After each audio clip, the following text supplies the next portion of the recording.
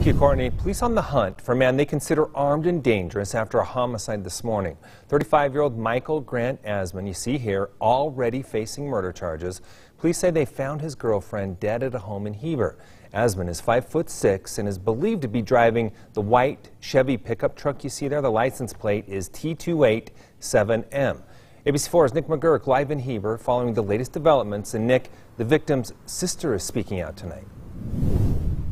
Yeah, we spoke with the family over Zoom tonight, and the sister says they want Michael Asman found. Again, he should be considered armed and dangerous. He actually was accused of a domestic violence incident last month. They say he never should have bailed out, and because of that, her sister is dead. She was amazing. She was the best mom. Julie Burns, the mother of two daughters, Police say she was shot and killed by her boyfriend while her two daughters were upstairs. Just pray for her girls. Court documents allege Asman brought the two daughters through the house after they'd heard the gunshot. Asman allegedly told them to close their eyes until they went outside before he gave the girls to their aunt. Her kids were her life, and so she thought getting back with their dad would make them happy.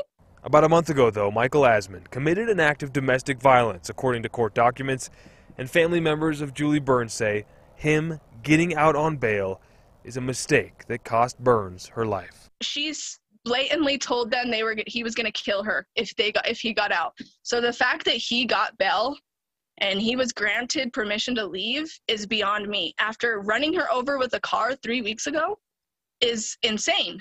And only got an aggravated assault for that.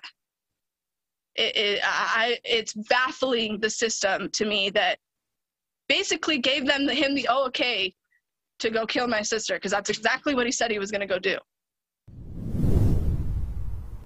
Back live here, I want to read you exactly from the probable cause statement relating to Asman's arrest last month. It reads, quote, Julie is afraid Michael will kill her by either beating her to death or shooting her.